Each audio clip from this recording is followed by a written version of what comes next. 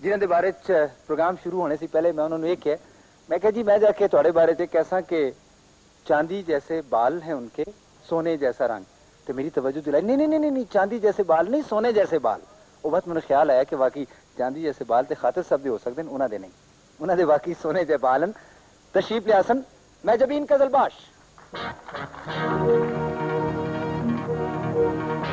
Thank you.